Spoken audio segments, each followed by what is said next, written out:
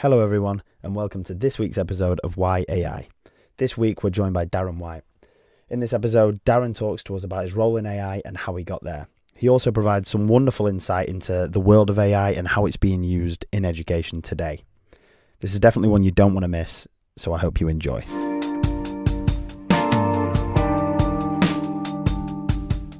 So, thank you for joining me today, Daren. How are you? I'm very well. Thanks for having me. Good. Yeah, no problem at all. No worries. Um, so yeah, welcome to Y-AI. Um, so first of all, for the listeners at home, could you just give a brief rundown of, of who you are, what you do, um, and how you sort of you know got into it, got into your your profession? Yeah, sure. Um, well, I'm, I'm formerly a teacher, so I taught for for 24 years.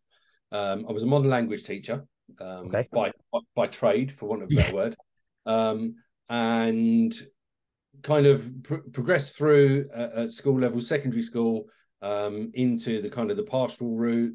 Ended up being um, senior leader. Was a senior leader in, in school for just over 10 years. Oh, Um, right, okay. and then decided um, for a number of factors that I, I've I was kind of ready for a new challenge, um, and that was in around about 2017.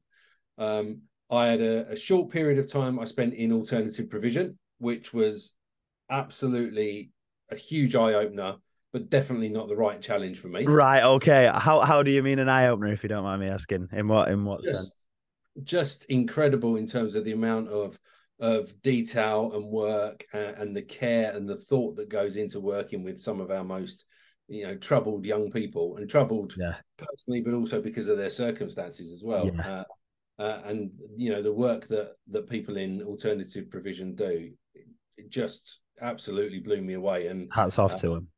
yeah, absolutely, absolutely, and you know, very, very difficult circumstances um, that seem to be getting, you know, even more difficult as time goes on, as sort of social media and everything else has its impact, and and it's much easier for people to connect with each other.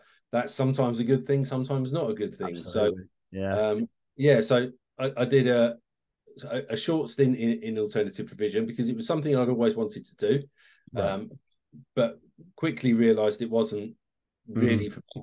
yeah. Um, so I went back into mainstream school, but um, focused really on the kind of marketing and the for one of it, it wasn't teaching and learning and, and ed tech at that particular point. It was the use of in particular google tools and how you could use those to be more effective uh, and more efficient and to collaborate and looking at things in terms of um, improving workload for people really. Okay. um, and then in 2019 something rather large happened. Um, and I was in a very fortunate position that when when COVID hit and lockdown came along and everything else, because I'd been working and kind of upskilling myself really and retraining, uh, for want of a better word, I was in a good position to help other people. Um, and when in, when lockdown initially started, I also had a little bit of time to help other people. Mm. And through my connections uh, as a Google certified educator and trainer, um, I also had some good connections um, globally through um, the global uh, Google Educator Group. Uh, and we ended up kind of putting on various different sorts of trainings for staff um, across the globe, almost on a 24 hour basis at one stage throughout the yeah, pandemic. yeah. Keeping up with the time zones all around. So, yeah, exactly. Uh, Which was which is is a challenge in itself. Um, but yeah, so we ran like online boot camps for about four thousand people between a group of us, and all completely volunteer based. But that really kind of ignited a passion in terms of skills development and things like that for me, Yes. and and also the you know the impact on teaching and learning. Uh, and that led me really to a situation where uh, a couple of year, years ago, I got the opportunity to start supporting um, our trust schools in a more central role, initially as a two day a week secondment. That then moved to three days, then to five days, um, and is now my full time full time position. So I'm academic technology lead for for the Academies Enterprise Trust. So we got 57 schools across England, um, ranging from sort of Middlesbrough up in the northeast, all the way down to Plymouth and Gloucester, all the way across to Clacton, with some Yeah. some real diversity. Um, primary, secondary, and special schools. Okay, right. So you get the full Yeah, the full which I think is really important. You know, I think you know the, the special schools do a fantastic job, and, and and we're trying to encourage more and more of our primaries and our secondaries to engage with those people working in the in the in the, special schools because they've got so many tricks and so many tools yeah. know, at their disposal that sometimes when you're in isolation in a large school and you're dealing with one student who's got a particular particular challenge, mm-hmm. you kind of you, you, thinking on your own a little bit, but actually we're now saying Let, us tap into these networks because because these guys have got yeah. a lot of experience that they. I was going to say it's the experience, isn't it? If you can tap into the experience, and it's yeah, yeah, for sure. Yeah. That's that's yeah, fascinating. So I, I, I, you quite quite enjoy you quite enjoy the job. I mean, it sounds it sounds like you sort of stumbled onto it. I feel like uh, you know, I've I've had quite a lot of conversations with, not obviously not uh, the same same roles as what you have, but similar sort of you know, uh, you know, sort of along the same kind of lines. And it always seems to be a, a bit of a profession that people you know, usually teachers stumble onto. Um, and it's it's. I think I think I think that's the case because you know it's a bold decision, you know, for mm. for any school or any trust to create a new position when there yeah. hasn't been one existed. You know, it's really easy to say, well, we've never had one of those before, so why do we need mm. one hmm. now? Um, but you know, got to keep up with the times. You've got to keep up with the times. Speaking of, speaking of, I mean, do you do, have you come across AI? Obviously, I've got to speak about AI. It's called Y-AI. So, um, yeah. do, have you come across, you know, in in your in your your job role, have you come across quite a, a bit of AI, or is it not something you mm. you come across much at the moment? No, definitely. I've been I've been obviously as you can imagine, being a, a trainer and an innovator and a coach as well, I've been um, diving into various different aspects of AI, various different tools, um, and trying out and, and seeing from my own perspective what some of the potential is. Um, very fortunate to you know to have some very good contacts with the likes of Dan Fitzpatrick and, and yes. Louise Jones from from ThingLink who you know keep me keep me modest and, and keep me thinking about the positives as well as the negatives, you know, um, yeah, because it's it's it's a little bit. You know, it's, it's almost like it's one of those populists that you either love it or you hate it, and there's no in between kind of marmite sort of discussions going on at the moment. Um, and I try and not sit on the fence, but I try and see things from both perspectives. So we've done a lot of work in the trust with um, sort of SWOT analysis around the use of AI um, and what, what the strengths and the weaknesses are, but what are also the opportunities and the threats, and then how can we move forward um, in a in a responsible and considered way. See, that's the best. That's a great approach. I feel like you said. I, I think it's it, people do seem to either be sat on the the all for it, and you know that it should be the only way that we're thinking, and then obviously there's the either which seems to be less and less. It seems to be less and less the the yeah. group that that despise it as such, but they obviously you know the the, the people still exist, and it's it, you know it, I th- I think that's a very good approach is, is what I'm trying to say. I think it's one of those things, you know, people, if, if you read social media and you watch the news and everything else, then then AI is either being kind of lauded as either the, the great leveler, mm. because it's making everything available to everyone, and therefore, you know, it's it's democratizing creativity and all that kind of thing. Because yeah. anyone can create things, anyone, anyone can create, create code, anyone yeah. can artwork. We've seen the high profile kind of photo award winning. Oh, I'm sorry, it was AI and, and mm. all of mm. this.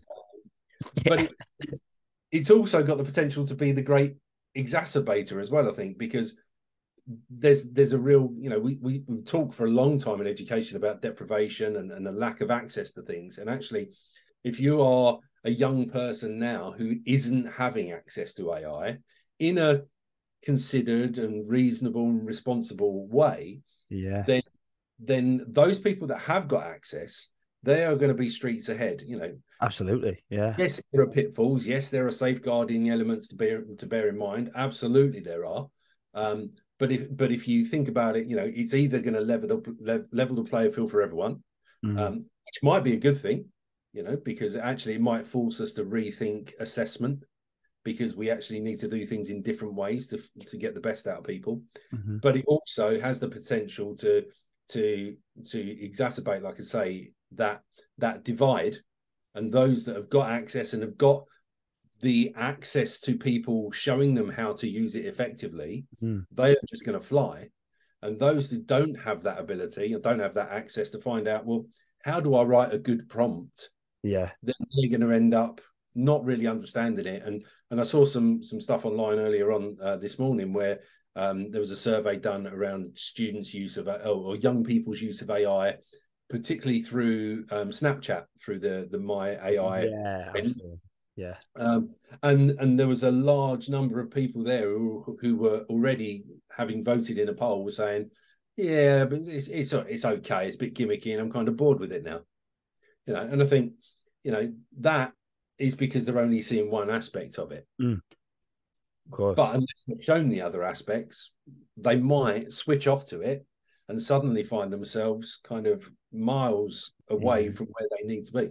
It's it's so, interesting you you say that we I um uh, when uh, uh, Steve who um is on the podcast quite regularly he um me and him were talking about a similar sort of thing and not just in um you know in every sort of sense of the divide in you know the divide aspect of it, it globally because i think that'll be you know uh, will that create a, so that the you know the countries that perhaps aren't you know uh, have got anywhere near as much access to technology as we do over here you know will that just start will that change things even more?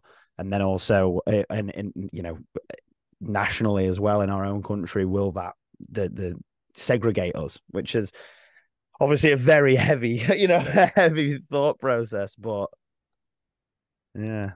It, it yeah i mean it, it's one of those things what i've been trying to do with with staff and, and not just staff with colleagues with friends and other people i've been talking to you know because it's it's bigger than just education obviously. Mm. i've been trying to get people to to look at things um in a in a responsible way. I've kind of you know i love an acronym as as do a lot of people so i've, I've recently been um using the acronym boost and and talking about okay. ai boosting your performance and your potential from the point of view of of making sure that whatever you generate through AI, making sure first of all that you're happy that it's balanced. So are you kind of bias aware with your prompting, but also are you checking the output to make sure that there's not any obvious or, or less obvious bias within there? Um, you know, have you crafted your prompt properly and have you reviewed the output? So that's the kind of like the B of it. And then the open side of it, are you open about the fact you've used it? You know, you're honest to the fact actually I've used AI to generate this. You know, instead of trying to pass it off as your own. Absolutely, um, mm. because and but then taking ownership mm. uh, and saying, you know, okay, I've used Chat GPT or Bard or whatever to generate this, but actually I'm the one who's putting it out there. Of course. So I'm responsible for it. I'm accountable. The onus is on you. Yeah.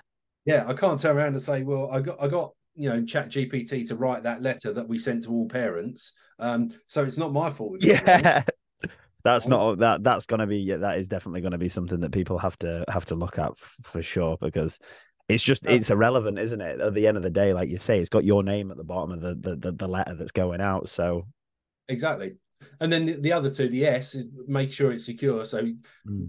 more importantly than ever in schools, making sure you're not plugging in student data and things like that and asking it to write a report for you, mm. uh, that kind of stuff. So is it, you know, are you putting in the right sort of data? Is it safe to do so? And is it ethical to do so? And then finally, you know, the T really being time because yes, AI can save you a lot of time. Um, but is it truly saving you time or are you doing it just because you can? Um, yeah. And I think particularly for teachers, there's there's a real kind of like um for want of a better word, kind of like um, there's a real incentive to try AI because everyone's talking about saving time using AI. But if you're not in a position where actually what you're doing is saving you time, or at the very least enhancing what you're already doing, mm. then actually it probably is a bit gimmicky and it's not going to have any any longevity and it's not mm. and it's not going to last you know so it's not going to stay the course so trying to look at things from that perspective and it's been really encouraging to see actually some of the more kind of the bespoke um, uses of AI coming out. So I've, I've had a bit of a look around at looking at um, SLT AI, which is designed specifically to support school leaders in generating okay. content they might need. So it's using a large language model that's trained on that kind of information. And I think that's a really interesting um, step forward. And, and Merlyn Mind as well. Um, I've been very fortunate to work with Merlyn Mind. I used to have a Merlyn Mind unit in my classroom, which is basically like a you know a virtual assistant for for teachers. Yeah, yeah. Um, so you know, I can be the other side of the classroom, and I can just ask it to to change the tab on the screen for me, and it will, oh, or to find okay. a video for me, and I can just use my voice. So can the students. Um, but they're looking at building a um, a large language model that basically schools or trusts will be able to chart um, will be able to train, train yeah. with their own knowledge base. Yeah. So you can so be sure it's a hundred percent secure. Their own, for example, you could plug in all of your curriculum content, and if a student asks for some information about Henry VIII, you know it's only going to get the information that you've con- included within your curriculum. Brilliant, it's not yeah. going to get anything outside of that, mm. which is a good thing in terms yeah. of that way forward. But again, you've got to have that that view to the you know the unconscious bias as well. Actually, is your curriculum looking at the bigger picture? So you know there, there's bigger conversations to be had as well. But certainly, it's really interesting to see those developments. But yeah, yeah. It, my my general feeling is be responsible, but you know be bold, try it. Yeah, but, definitely. I mean, it sounds like that. It, it, like you say, there's there's obviously big questions to be to be asked and answered about it. Um, but uh, as far as from, from where we're at at the moment with it, and especially with how new, obviously AI has been around a long time, but which people seem to forget because they think this is just the way that it, you know, this is it. This is this is AI now. But obviously, it's had a massive, massive boost over the last. Oh, let's use the word, uh, but um, over the last six months or so. But I think um, that's really interesting. Actually, I think that's probably why I'm so kind of like, yeah, let's just try it because obviously, having been a language teacher I've been dealing with Google Translate or various yes. other options that are available for a long time with students using it, trying to pass it off as their own work, me being able to spot it straight away. That straight away, yeah. Not their own work. Then actually teaching them why it's obvious it's not their own work. Yeah. And that itself helping them to develop. And sometimes they may have then developed better ways of using it that wasn't so easy to spot but they've learned something. You they've know, still learned something, yeah. Even if it's not what you um, wanted as such. I mean, we I used to love kind of like, and there's loads of examples on YouTube where you know you you take a fav- uh, a famous song, you put it through Google Translate in a number of languages, uh, and then translate it back in again into English, and then see what it comes up with.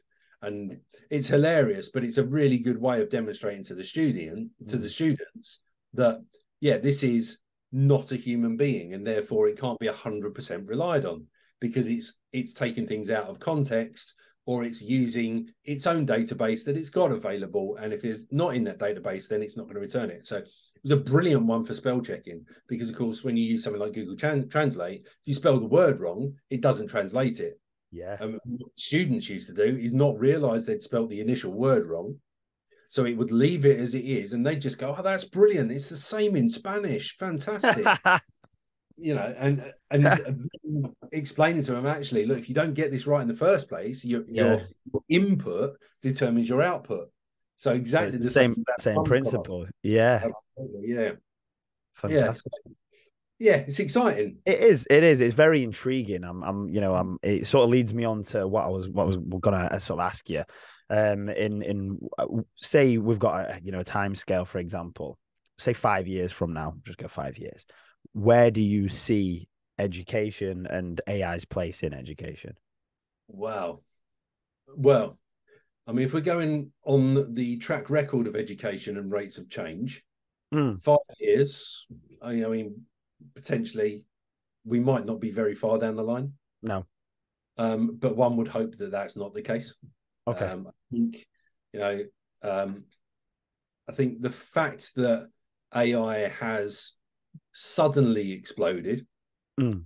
has put a little bit more of an onus on everyone to to start to to sit up and take notice. And I think the movement around wanting there to be some kind of regulation and quality control will move things forward but i think mm. i don't think it's going to go very fast very quickly in that that arena so i think no. probably heading for a couple of years of um, almost kind of like f- feeling our way through in the dark to a certain extent. Yeah. Um, I do feel already that there's there's a lot of um, bandwagon jumping in terms of people making use of AI for really, really kind of insignificant things, Mm. just so that they can badge it as being AI integrated because they see that as a trend, and therefore we're using AI suddenly raises your profile. Yeah. But actually, is it AI? is it AI? human human nature's funny, isn't it? It's it's Yeah, very it funny in that way.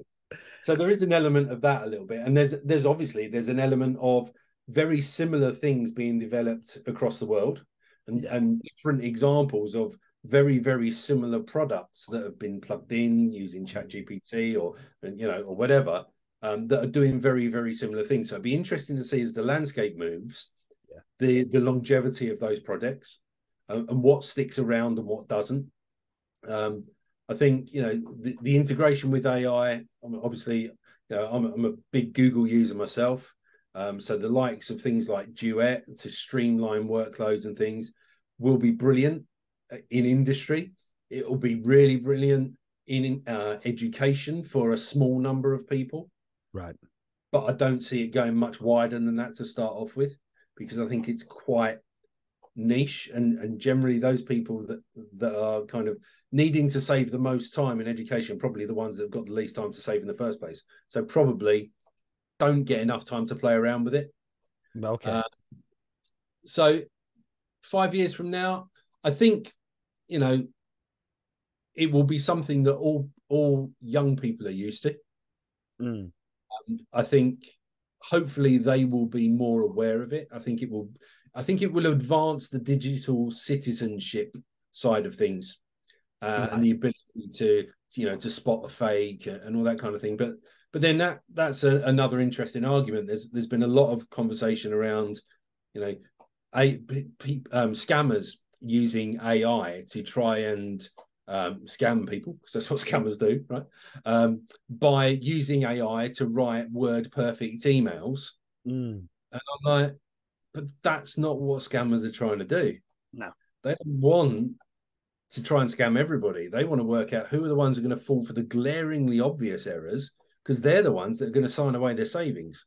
Yeah. So actually generating a, a perfect, grammatically wonderful email Not really. as a scammer is no good because that's not going to sift through everybody to get you to the people you really want to deal with. So I think there's a little bit of a misunderstanding from that perspective as well. That you know, not sometimes good isn't the best.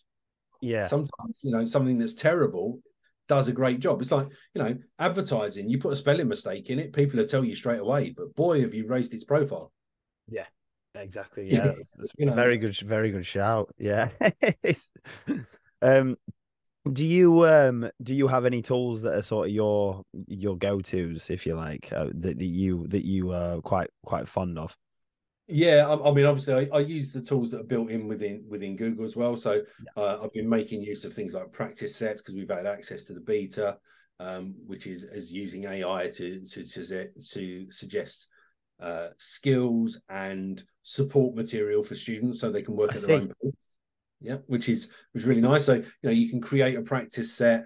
Um, say, for example, it's on coastal erosion, for, um, and you can upload you can add questions you can then tag the skills that the students are expected to display and then the ai will help you generate um, youtube clips or documents that are really useful so the students can complete the questions but if they get stuck they can go and they can press on the little help button and that will then surface those pre-checked videos for them and everything else. But without all of the the adverts and the you know the millions of videos of dancing cats and all that kind of thing.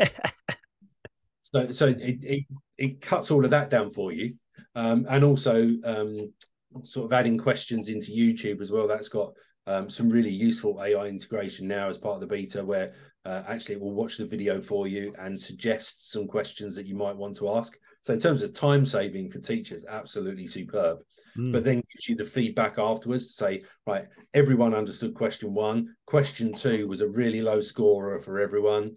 Question three, this that, and the other, you might want to um, go back over this in more detail another time, sort of thing. Sorry, just It's all right. No, argue- no, don't worry about it. just arguing with the dog. Um, I don't know what he's eating, but he shouldn't be. It's just Um, me. Yeah. Sausage dogs, not good. Um, uh, so what else? And um, Canva's tools I've been using a lot as well. So Yeah. um, the text to image generator is is really good fun. I use it a lot. Um, Ca- Canva's text to image generator and Adobe Firefly.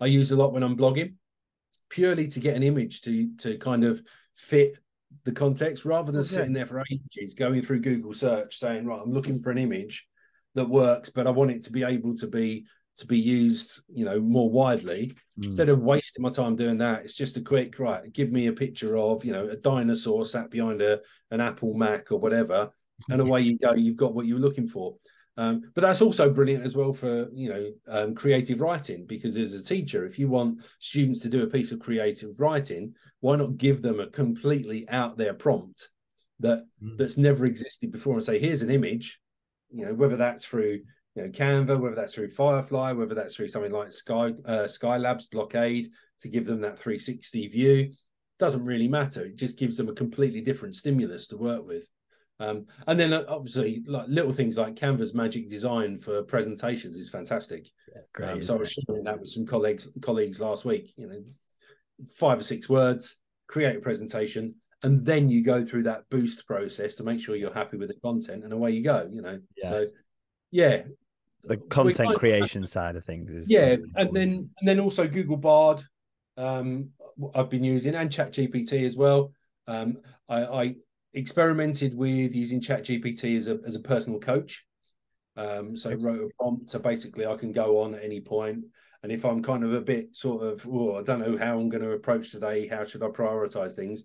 I can just get the actually the the ChatGPT coach will kind of help me process, particularly when I'm working from home. I find that quite useful because I've got Mm. gives me an opportunity to bounce ideas right. um, I that see. maybe if you're working in isolation um, and bard as well um, for you know even things like you know app scripts and things like that so for writing code because i'm not not brilliant at that and it just gives me a starting point that i can then work from Yeah, that's brilliant. Great, comprehensive answer. um, yeah, wonderful. Um, just to sort of obviously we don't have um, we're gonna be sort of wrapping up soon. So just uh, because I always want the I, and I always say this, I always want the the um the podcast to be informative to uh, you know uh, whoever's listening, whether it be teachers or or whoever. Um, obviously it has been, so I, I appreciate that very very uh, very. I've, I feel like I've learned quite a bit just um advice if you were to give uh you know obviously i know you could probably talk for quite a while on the subject but just No. uh, just in, a, in a condensed in a condensed uh you know uh, a a paragraph or two what would be your advice to a teacher that perhaps is coming across ai they're a little bit you know fumbled by it and and you know they they don't know where to start um, i'd say definitely um, if you're on social media either follow the hashtag ai in education or or if you're on Facebook, there's an AI in education um, Facebook group full of Yes. people who are all in a similar boat. And, and I tend to find as well, it's an interesting one. I, th- I tend to find that Twitter users tend to be a little bit more kind of um, self-sustaining, and Facebook users tend to be a little bit more. I'd like a bit of help with this. Okay. Um, so you get, I think you get a very different audience between the two. So I find the conversations that go on in Facebook are a little bit more those people who are really not quite so sure Mm. and are just dipping their toe in the water and would like somebody to dip their toe in with them. Um, and Right. there's some really good conversations that go on with people saying, "Well, I've thought about doing this. You think it would work? Or you know, well, well, let's give it a try." Whereas Twitter tends to be, "I've done this and it's brilliant," or, "Or no, don't do that." Don't do that uh, yeah quite st- quite strong views Ve- opinionated Absolutely. it is an opinionated place twitter if you But in some yeah. areas I would say, yeah, ultimately, try it. You know, play around with it and and have a think about what you can do with it, and and always try and just think, you know, outside the box, but inside the box at the same time. You know, yes, you could do amazing things, but what are some of the really simple things that you could do that would make your life so much easier as well?